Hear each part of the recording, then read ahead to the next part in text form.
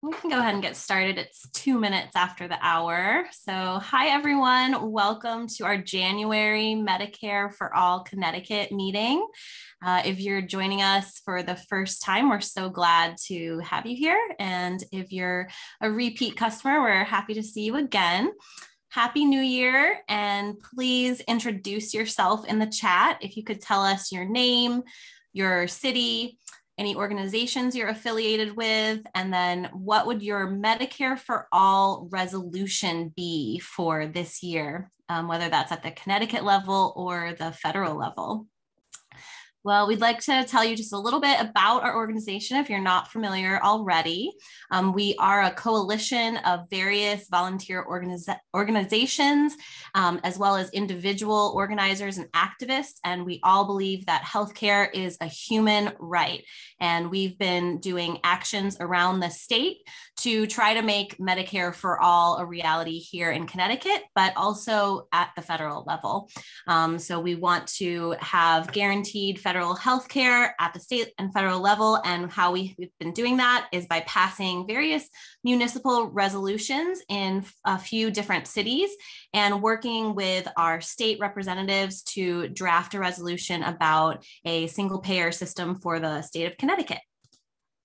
Um, we have a board of many people in different uh, different occupations. We have some healthcare providers, some people uh, that have experience in legislative situations, as well as other types of organizations. And we also have an advisory panel of folks that step in to just give opinions and advise our, um, our directives. We also have a lot of different organizations that are collaborating with us. I'm not going to name all of them, but I'll leave them up there for just a second. This really is a group effort, and we wouldn't be as successful as we are if we weren't all working together towards this um, single payer health system that really serves a variety of people's needs. So if you're from an organization that's not listed here and you're interested in officially collaborating with us, please do take this information back to your organization and see if they would like to officially sign on with us. And we can put your logo on our website and our promotional materials and make sure that you're represented please make sure to follow us on social media. We're on Facebook and Instagram and Twitter.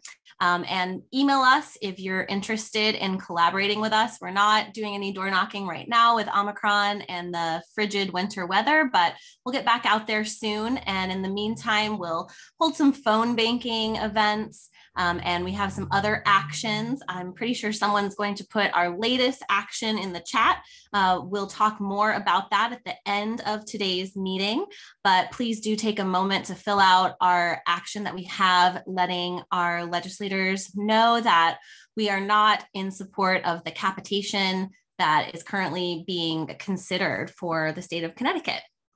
So if you joined us in the last couple of minutes and you haven't already, just make sure to pop your name, your location, your organization, and your New Year's resolution for Medicare for All into the chat. Um, we also do want to invite you to join some of our committees. If we have time later today, we'll give a little update about the committees. But on our website, if you go to Medicare for All Connecticut.org, you'll see a little button that says join the committee. And that's where we do a lot of our work. We have a communications committee, a fundraising committee, education, community outreach, electoral, and then we'll have an ad hoc uh, committee that works specifically on town resolutions. So we're looking into a few new cities. Um, I think Fairfield and Middletown are upcoming cities that we're going to be wanting to work in. And we've been doing a lot of work in Hamden recently as well. So if you're in any of those cities, definitely hook up with us to get become a part of that effort. And if you're in a different city that doesn't have a resolution going right now and you're interested in starting one, join and we can help you get that going as well. So, um, one other way that you can help support Medicare for All is by giving a donation. So, on our website, there is also a spot where you can donate to us. Even a dollar counts. Um, it's great to get those small donations from folks. Not only do they add up, but they also show people that there's a large number of folks in Connecticut who really care about this work. So, having said all of that, um, we did pop the agenda into the chat, which I should have mentioned earlier. Um, but after what I just went over, we're going to be introducing some guest speakers, and then later we'll talk about the state capitation. Um, efforts to kind of stop that and then uh, talk a little bit more about our next meeting. So I'm going to pass it over to Holly, who's going to introduce our wonderful speakers for today. Thanks, Dana. And thank you so very much for all that great information. Um, tonight, I am very proud to announce our speaker, Kristen Whitney Daniels. She is the chapter leader for Connecticut Insulin for All and co chair of T1 International Federal Working Group. I have to say that Connecticut Insulin for All has been an amazing partner to Medicare for All Connecticut and really helped us set up our first legislative action that we did. Um, so the chapter that um, Kristen is working for with um, advocates for affordable and equitable access to insulin and related supplies in the state. Kristen is a proud graduate of Quinnipiac University and works full-time as the Associate Director for the U.S. Federation of the Sisters of St. Joseph, where she helps organize national justice responses. The topic that she's going to discuss tonight is PDABs, which is Prescription Drug Affordability Boards.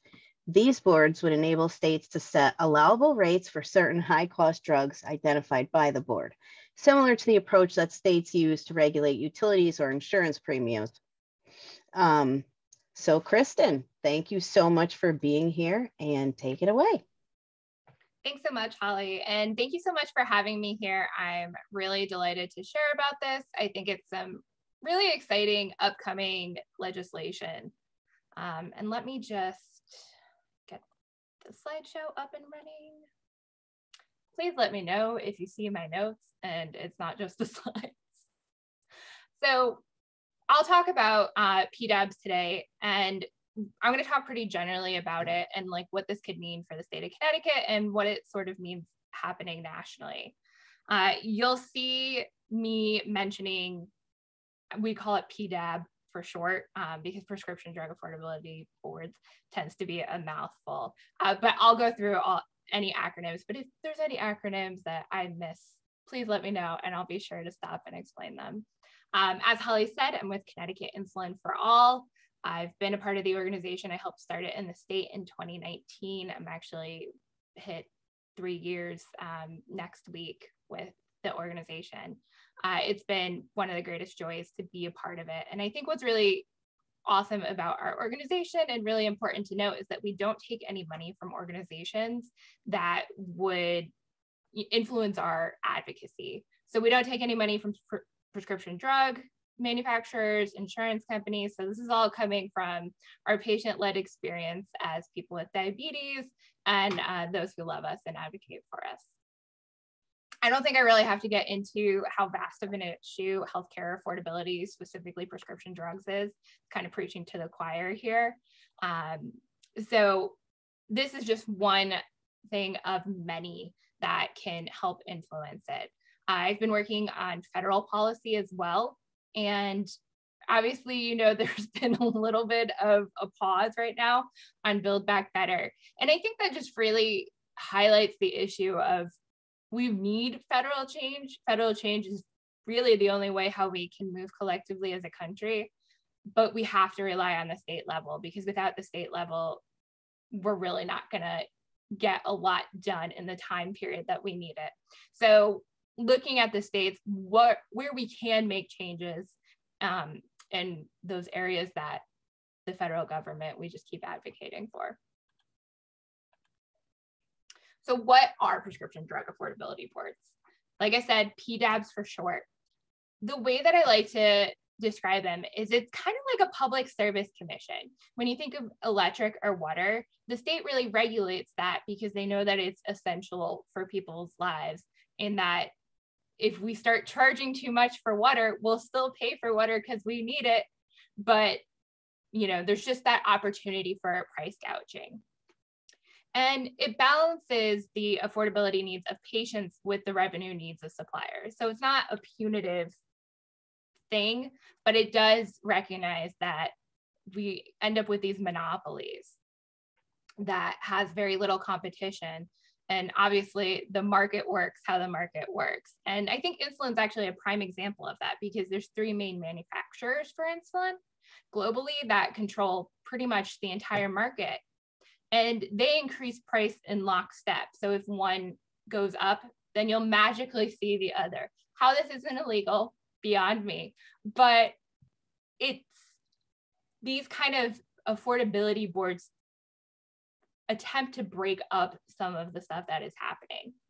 And there's so many different policies that can help with prescription drugs. You know, we think about transparency laws um, and stuff like that, but that doesn't directly impact consumers. It gets us information that is really critical for making legislation. But prescription drug affordability boards directly impact consumers. We can see the actual impact from it. And I'll get into like some of the specifics about how a PDAB can be set up, but essentially they're there to gather, review, and analyze the information on the prescription drugs and set an upper payment limit. And it can involve brand names, generics, biologics, and biosimilars, which biosimilars is just another name essentially for generics for biologics. So what is an upper payment limit? This is really critical to any legislation. I'll talk about it a little bit later, but there's some states that went forward without a UPL. And that means that it was just essentially a board that said, hey, this drug costs too much. And that's it. you need that, you need that kind of enforcement. And so it's a payment limit that applies to all purchases and payments for some high cost drugs. It is not a price control. And I just want to reaffirm that it is not a price control because typically that wouldn't stand up to legal precedent. So that's really important to know. And it it does create greater access to costly drugs. So it's not meant as like I mentioned earlier, it's not punitive. It's not saying, okay, you price gouge, so we're gonna set um, you know, taxes based on that. It's saying that there is a price for this drug that we are willing to pay up to, and that's based on your manufacturing process, how much it costs at pharmacies and distributors, and all of the different economic factors that go along with it. Ooh. I think that's it. So what does a PDAB do? I'm going to go over what does it do and what it doesn't do because I think those are both really important parts to the conversation because there's a lot of misinformation about anything to do with prescription drugs because we know that pharma has a ton of money that they're able to put into. So it is an independent board made up of appointed members. You, the key to that is that it's appointed members and you have to really try hard to make sure that there is a strong ethical policy that people aren't appointed because of friends of friends or you know relationship ties to like pharmaceuticals because obviously that can get a little messy and their job is to take these drugs when they trigger a certain process that is outlined in the legislation and perform a study and analysis on it so usually there's typically some staff members then there's the board and then from there, that's where they set the recommendation and the authority to set an upper price limit. They'll also, like I mentioned, they'll review the parameters. So, you know, some of them take the highest price drugs, like the 10 highest price drugs in the state based off of what the state pays. Uh, there's a bunch of different ways that you could really look at it, and it's up to the state to determine how that would look. And it does leave room for future expansion what could it mean if this board was able to propose new legislative ideas or put forward recommendations to the governor and the legislature because really they're going to ideally they're going to be the top experts in this field and say hey we're seeing a lot of issues in this portion of you know we see that pbms are becoming a huge part of it. Um, the insurance companies manufacturers so they'll have a better idea of it. And they'll probably be privy to information that we as consumers are not. So private information um, that you know we might not see the light of day of much to my chagrin but hopefully they'll be able to take that into factor. What is a PDAB, PDAB not do. I again it does not regulate the price for a prescription drug. And again i just say that because that's a huge misconception of it. And if that gets out sometimes that can tank a bill uh, just because of the messaging around it. Uh, we put out a prescription drug bill for insulin in 2020. And before the legislation got out, before the wording got out, it was going around that it was a tax on people for diabetes, that they would have to be taxed for getting their insulin, which is the complete opposite of what we were attempting. But you know, sometimes your messaging gets ahead of you and you have to like it is so much harder to do damage control than it is to accurately get your information out. And some of the misconceptions are because pharma wants those misconceptions out there. It doesn't deny people access to their medication. I'm sure you have seen a lot of stuff around this with Medicare negotiations for Build Back Better, that by having negotiations, people will not have access. Ideally, a PDAB is actually going to increase access because you can't have access if people can't afford their prescriptions. And so, in a way, you know, like some of the messaging for this is actually this is a good thing for pharma because now you're going to have more patients who can afford it. I mean, I know from our perspective with people with diabetes, one in two people can't access their medication regularly. And I think nationally for all medications, it's around like 24%, 25%. So one in four people. You're missing a huge consumer base there if you're looking at it from that perspective. And I, I've already mentioned the punitive charges. Pharma is going to be just fine if we have PDABs or UPLs. They're going to continue to be the most profitable industry. It's reining in some of that, those costs that are so deeply out of control. Uh, I'm sure everybody is aware and knows that, you know, the taxpayers are really fund much of the research that is going on in these organizations.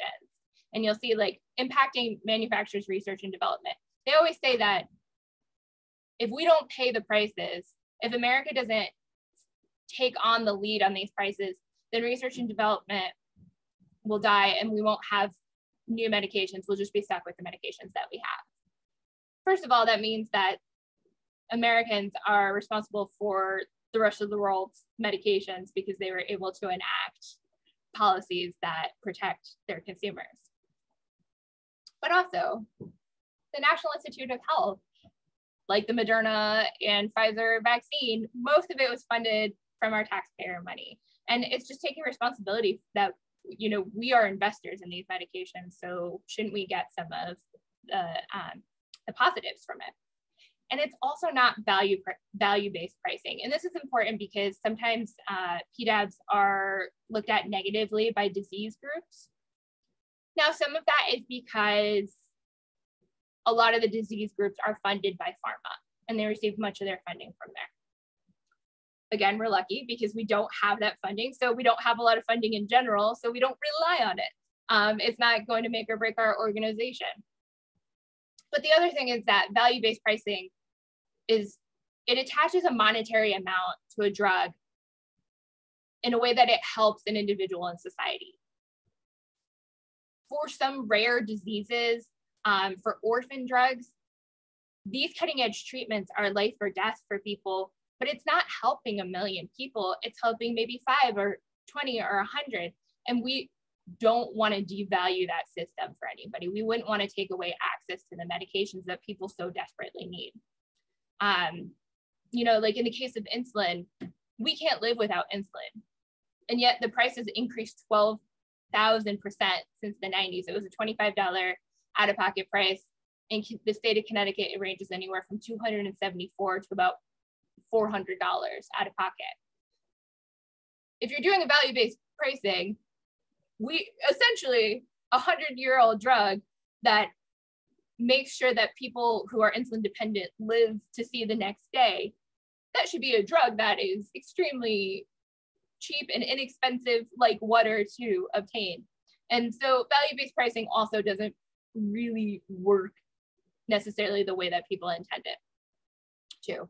And just a special note, today is actually the 100 year anniversary of the first person being injected with insulin, uh, the first person to be saved with insulin. Uh, so it's a momentous day for us, but also, you know, sort of mourning the fact that we're at this point here. Um, but just, you know, getting down to the unaffordability of all prescription drugs. So these are some other key points that I haven't really gone over in terms of PDAB.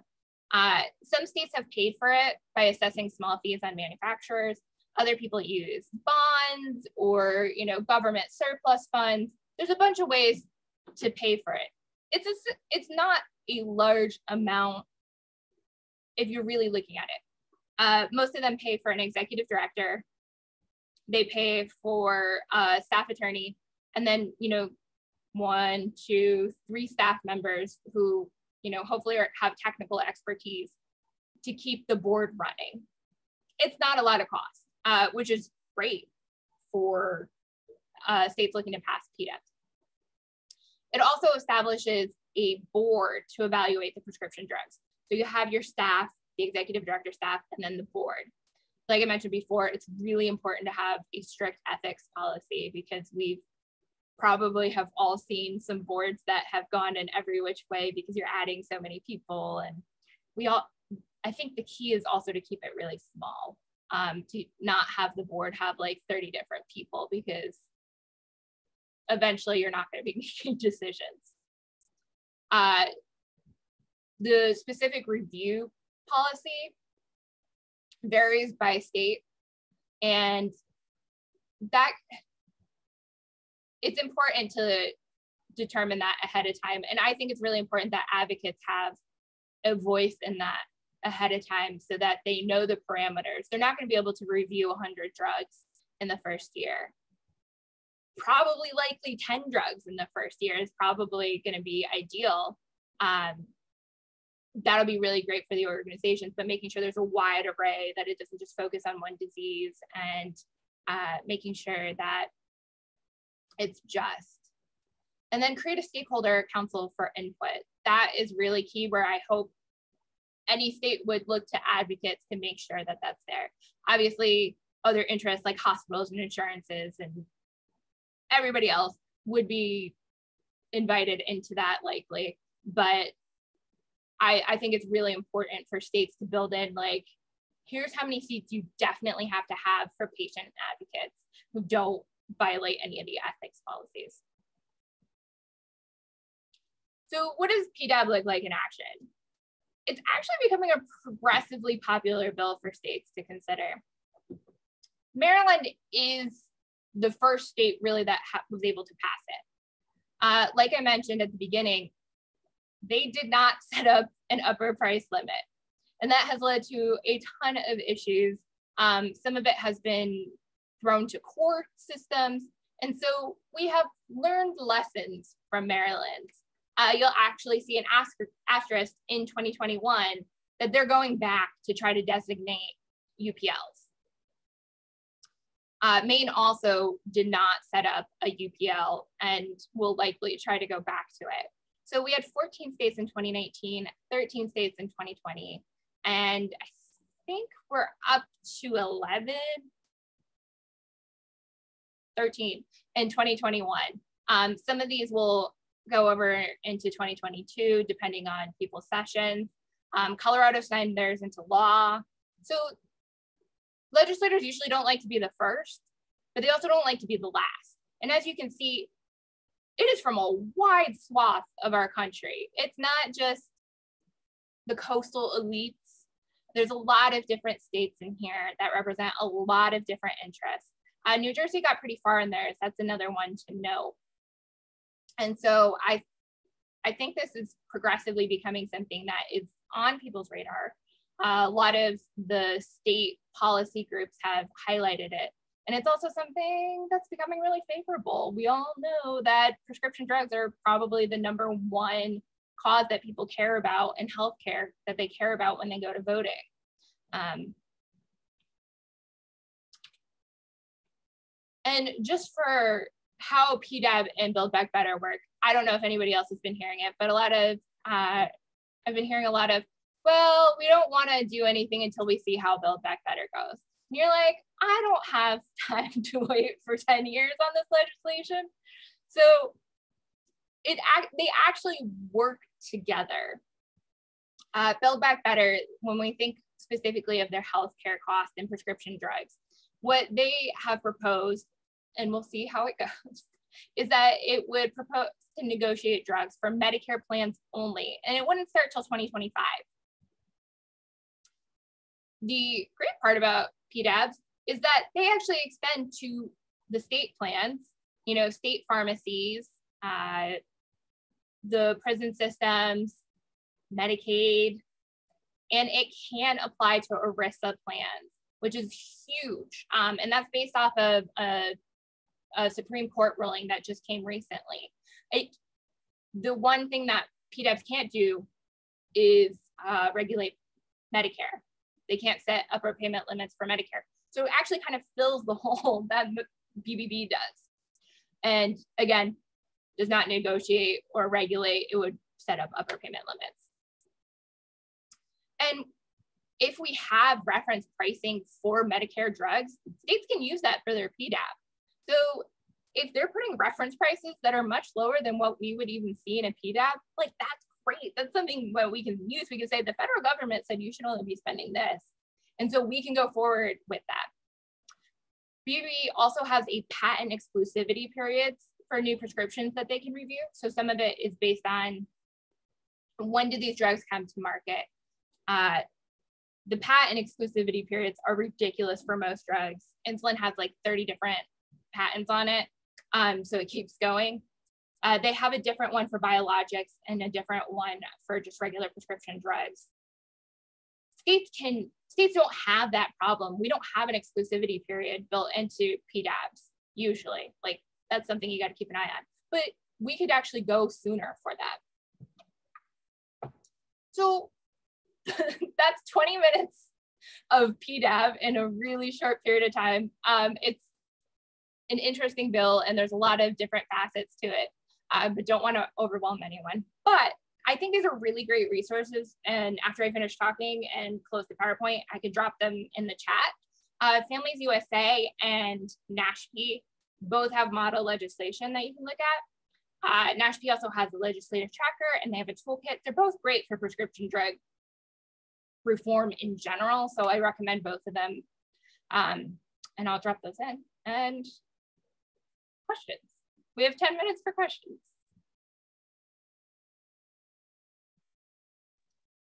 Thank you, Kristen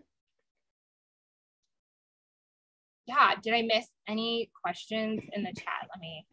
I didn't see any question. Well, I saw a comment in the chat, so you may want to check that. Oh, what's wrong with regulating drug prices? I personally, as a human being, would love to see drug prices regulated. Like, that's great. Um, unfortunately, in most situations, it does not pass the court system. Um, I'll give an example. So in Minnesota, we T1 International has been working on an emergency access bill for insulin. It's called an Alec Smith bill. It's named after uh, someone who passed away from rationing his insulin. And so it's an emergency fund that people can access their insulin almost immediately for a reduced price. Uh, they are currently going through the court system because the pharma said that they would this is the bill that they wanted and this is the bill that they would accept. And then they said that it violates uh, search and seizure amendment of the Constitution. And so there's a lot of different ways that regulating uh, the drug prices can go. But if the federal government does it, it's a little bit different. Uh, Thomas, I think I see your hand up. Yes, uh, Kristen, thank you for the presentation. It was very informative. I'd actually never heard about PDABs before. Um, so this has been really uh, enlightening. I, I guess my question to you, and I see uh, David Michel down at the bottom of my screen here. Do you have a legislative champion for this legislation, legislation or legislative proposal you're talking about here? Yeah, so we, I, personally don't have a bill going or anything. Um, this is something that we've been talking. There's a group of advocates that have been talking to other folks about, um, but there's no there's no bill, uh, no bill sponsor. Just something we wanted to put on people's radar that this might be something good for Connecticut residents. All right, thank you for that. And yeah, it's always good to raise the awareness, certainly. But uh, yeah, and and we are leading into a short session, so maybe this isn't the most ideal time, but it might be good to start talking about it in some public hearings anyway. Start setting the stage because a lot of things often do take a lot of time at the legislature, and especially if you're going to tilt windmills at the uh, pharma industry, you can expect some definite pushback, as I'm sure you're aware. Yeah, I don't see this as being a one year bill. I got really, really lucky with our insulin legislation. We did it in, with one year, and that's unheard of. And so I have to temper my expectations. I'm like, everything should be one year. This is a great bill. Um, but we definitely know that it's going to be a multi year fight, much like the public option and some other bills that have gone through. Right. And, you know, certainly greed doesn't play well up at the state capitol. So, you know, you know, that whole thing with insulin was just like, yeah, you know, they brought it on themselves, dopes. You know, if they would just, you know, work with reasonable profit margins, you know, maybe we wouldn't even have to have these conversations. But when they don't, here you are. I just had a conversation with a legislator yesterday, and they um, very seriously asked me, they said, pharma representatives have told us that it's so cheap to get insulin out of pocket without insurance that it's way cheaper than if you had insurance. And I, we don't know why everyone's complaining. And I just, I, I have a really hard time schooling my face. Um, so I went oh, yeah, I would. I just, yeah, you're making my head hurt. Just. So pharma's already up there. As soon as they got wind of the bill that we put, Eli Lilly came down for lunches and stuff. So yeah, something to keep an eye on. Amy, I see your hand raised. Hello, everybody. So California is having a hearing on Medicare for all throughout the state, correct? Is there any momentum coming from that? We sure hope so, Amy. We sure hope so. Um, we hope that our state legislators, as you, as uh, Tom pointed out, that uh, State Rep Michelle is here and State Rep uh, Michael Winkler was on earlier. Um, we hope that we can push some things forward. There are champions, they've been helping us, and we do hope that, you know, this short session we can get something accomplished for sure. Um, at least the Husky for All study bill to once and for all say, hey, listen, it is at least, you know, for those who don't care about the moral value of it, it is economically the right thing to do, not just morally. Um, so we certainly hope so.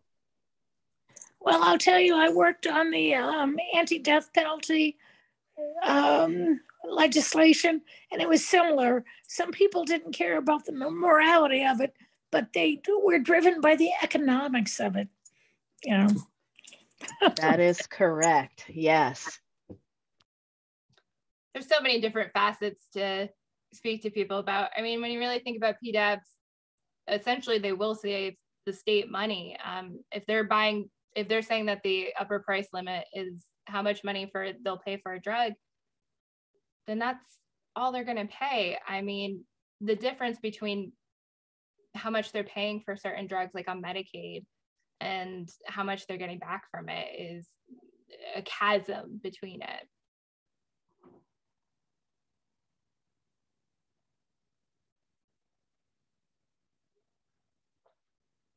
anyone else have any questions I could answer or and it could be generally too, doesn't necessarily have to be PDAB specific.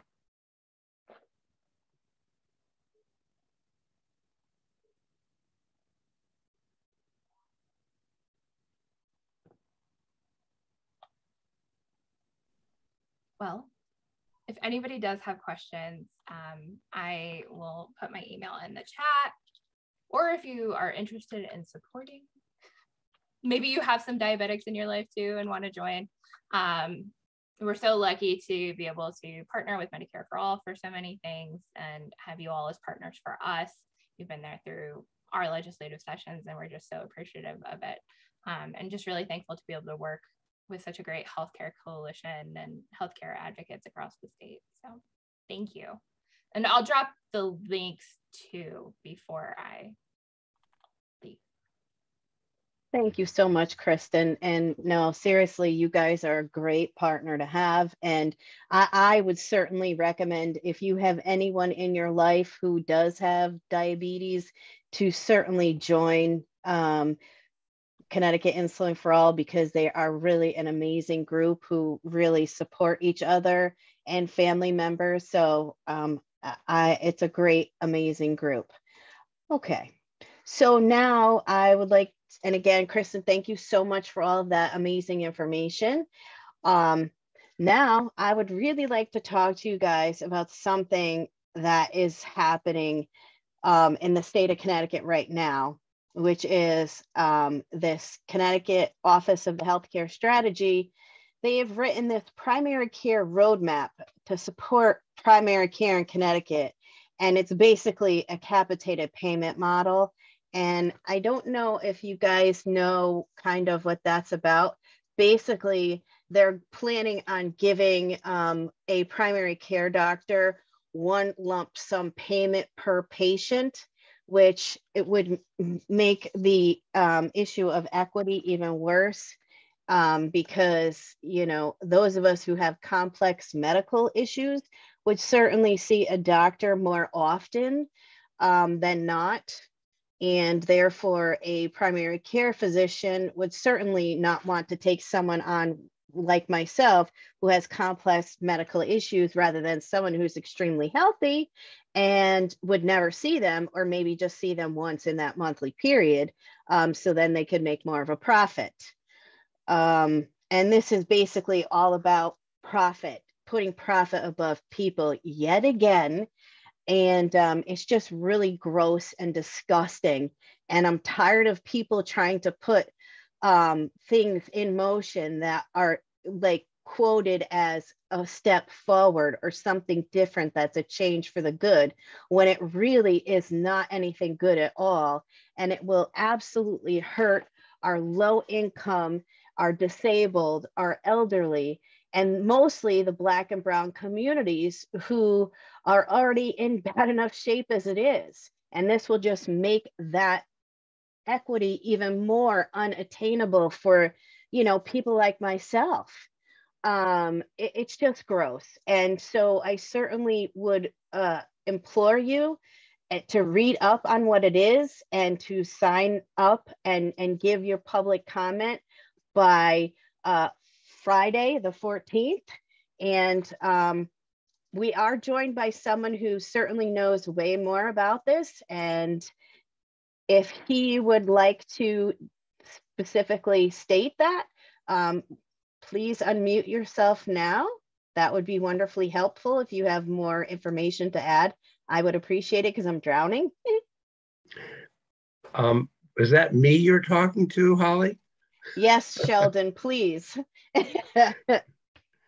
Hi, folks. Uh, I've never been on uh, participating in this group, so thanks for having me. And Holly invited me um, yeah, I've been working on this issue, and you know, the, people don't know me, but um, I, along with Ellen Andrews, worked on a campaign over a decade that was ultimately successful to remove insurance companies from running the Medicaid program in Connecticut.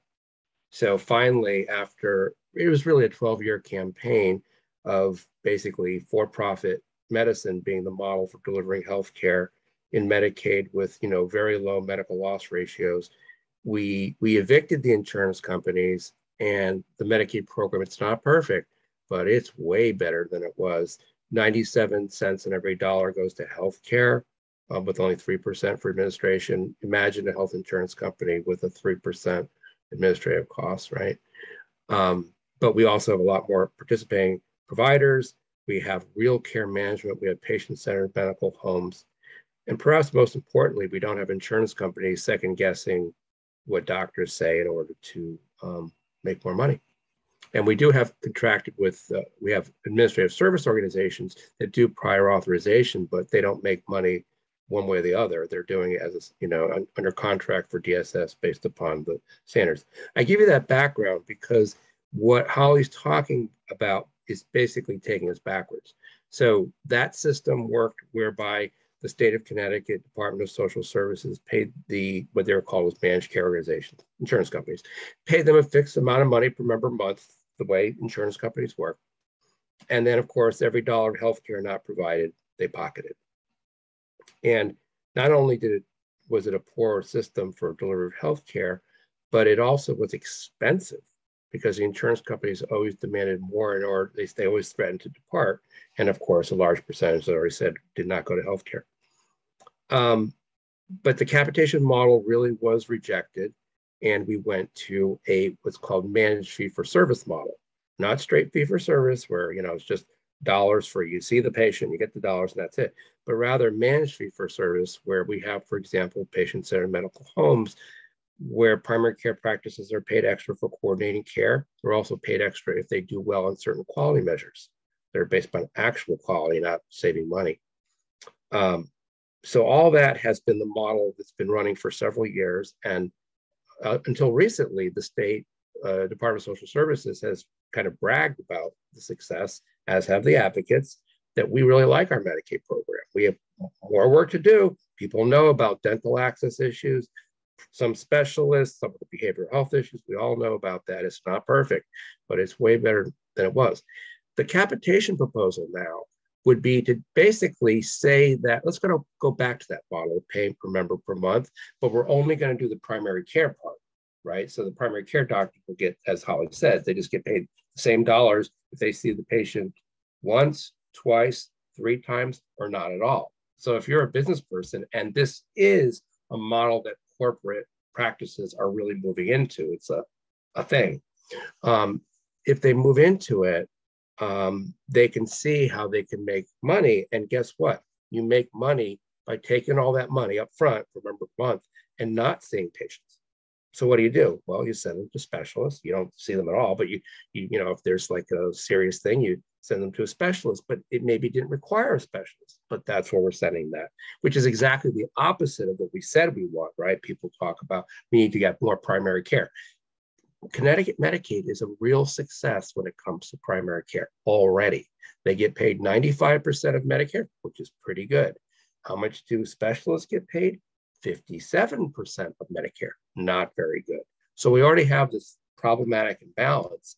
And now under this system, they won't want to see primary care doctors won't want to see their patients and they'll send them out to specialists if they send them to anyone with the result that we're going to have worse access to care. And yes, I agree that black and brown people are going to be are going to suffer particularly under this model. And I, where I work is Disability Rights Connecticut. I obviously serve people with disabilities, and we can see they already have access issues. You know, some of them they may have intellectual disabilities um, and other disabilities where the, the appointments take a while. It's annoying. Whatever the doctors don't get paid extra. So you can see how that would work um, if they get paid. If the doctors get paid zero. So I fully support what Holly said. I hope people will get their comments in, large numbers of comments. If you want to know who's on the other side, so you heard about the Office of Health Strategy. Um, uh, associations of primary care doctors are supporting it, and some of these big corporate practices are supporting it. Unfortunately, they have also, you know, grants come from the Office of Health Strategy to other uh, groups, some a few community groups, you know, in order to get them to at least say they support it. So we do have a, a problem there. And then, of course, we have a governor who has not been wild about some of these innovations that we've worked on. And in fact, he suggested we should go back to insurance companies running Medicaid when he was running for, for governor. So that's problematic. Um, and we're very concerned that he will be, we don't know, but likely will be firmly supporting this model. Certainly the governor's office has tacitly given um, approval for. it. So I think that's all I have to say. Thank you for letting me go on for a bit about it.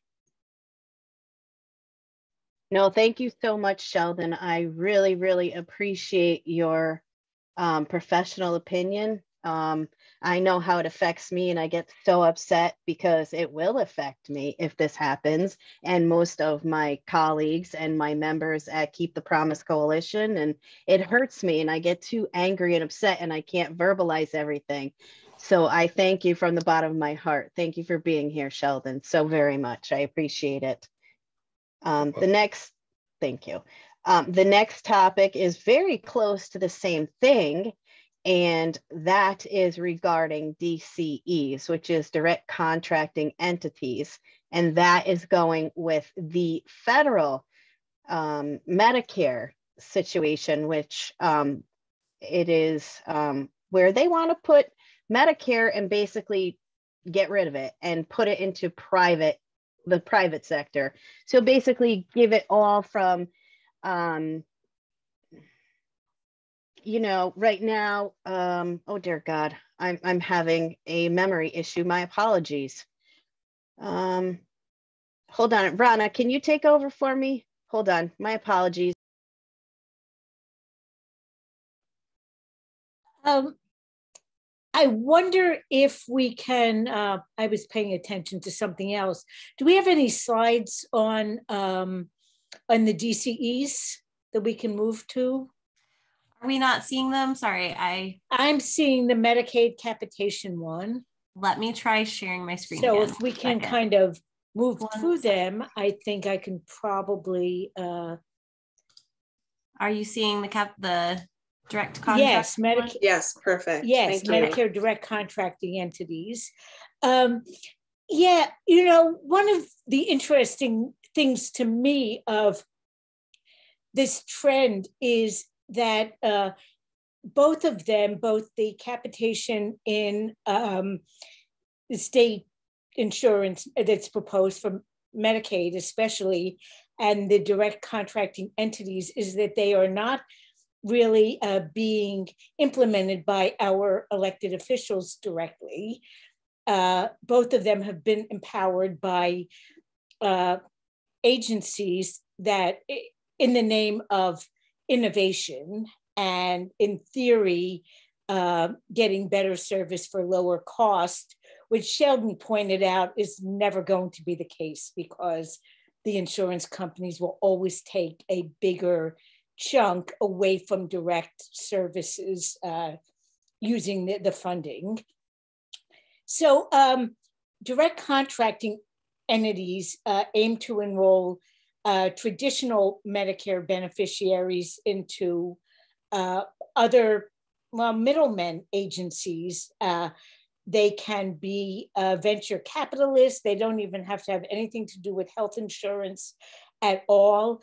It's um, it's one step beyond advantage Medicare Advantage programs, and um, even worse than that, um, in the DCE model, it is the provider, which might be your physician uh, directly, but might be the employer of the physician as more and more doctors are finding, um, you know, the overhead, the administrative overhead burdensome, and they're forming groups. I know in Connecticut, i you know, primary care physicians that have had a group practice are now operating in New London under uh, Hartford Healthcare. So a lot of physicians are no longer their own entity. They're already under a, a bigger company. And um, if that company signs up for de- uh, direct contracting, then all the patients of, of, of the physicians are automatically enrolled, uh, which is problematic. One, one of the, uh, I don't know what the next slide is, but if you could move it, that would be, uh, well, okay, this is just a summary of some of the problems of the direct contracting model. It really uh, transforms Medicare. Right now, Medicare has, uh, I think, operates with about 3% overhead. So 97% of the Medicare funds um, go directly towards providing health care to people. The Advantage plans are capped at, at a 15% uh, administration rate. So the uh, insurance companies can make more profit, but um, they, they frequently do complain that 15% is, is too little, but obviously more money is going towards administration than in traditional Medicare. Uh, in the DCE model, um, up to 40% can be kept by the middle uh, entity, and only 60% is guaranteed to be able to go towards providing people with health care. And um, so, one of the issues, in addition to uh, individuals not being able to choose uh, what kind of Medicare they're under, um, it also has um, capitation um, provisions uh, on a tiered um, system in which the providers will get more money for more at, at risk uh, patients, which incentivizes uh, diagnostic coding, fraudulent coding. Uh, if, if a person, we, we had a program on diabetes earlier tonight. If someone has pre-diabetes, they might be coded as being diabetic and higher risk. Uh, any small trend, uh, a lot of these, we see in advantage plans already that people are encouraged to get a lot of tests you know, someone goes for a mammogram, they have a cyst, they're coded as being at risk for breast cancer. So once they're in the higher risk group, the direct contracting entity can make more money off of them because it's a higher reimbursement rate. Um, part one of the biggest issues in the long run is it's really expensive. I mean, the rationalization for, for many of these innovations, and I put it in quotes, is uh, to streamline, to be more efficient and, and to save costs. And uh, any of these programs that put a for-profit uh, middleman administration uh, into our healthcare system cost more. And the DCE model could, in time, bankrupt Medicare because it would raise costs so much to accommodate the profits that the insurance companies are allowed to keep. And once again, as I started out with, it avoids Congress. There is a clause in the Affordable Care Act allowing these innovations to be uh, implemented. One thing Congress could do is um, rescind that one clause in the Affordable Care Act and, and force uh, these big changes to go through Congress. Uh, I think that maybe Representative Jayapal has uh, taken on uh, the DCEs, but um, also in Connecticut with the capitation uh, proposal that was allowed by an executive order by Governor Lamont, Executive Order 5, that also allowed these innovations to be implemented without our elected officials being able to weigh in on them directly. And I guess there's maybe one more slide about what people can do.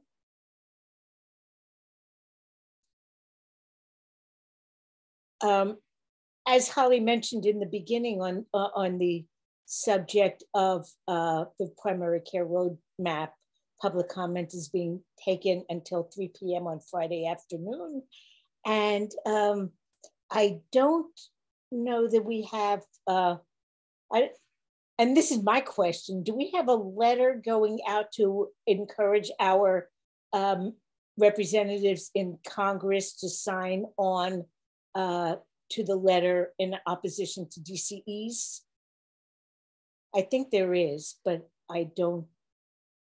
That's where my knowledge uh, runs out. I don't know how to get to that. Yes, Rana, we have, um, I put in the chat um, a link on our for our website where um, it takes you directly to the Get Involved page. Um, and the first action is the um, opposition to the primary care capitation. And then the second action is take on direct contracting entities. And there you can sign um, the Physicians for National Health Plan petition um, against DCEs. They have over 10,000 signatures nationwide. There's also Public Citizens, another organization fighting this. They have a petition. Then there's also um, templates where you can contact the CMMI, the Center for Medicare and Medicaid Innovation, Director Liz Fowler. Uh, you can contact her um, to express your revulsion at this uh, capitalist move.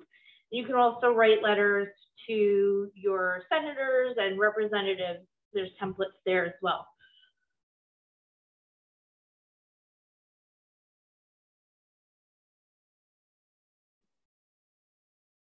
Thank you. And, and I do urge people to really let our, our views uh, known because uh, some of these problems have kind of been occurring incrementally and it's getting to a point that it, it is a true threat. And at a, it, particularly at a point in our history where we're dealing with a real healthcare crisis, uh, I, I think that we really are, are endangered by, by this pair of uh, uh, proposals that, that we're being faced with both at the state and the federal level.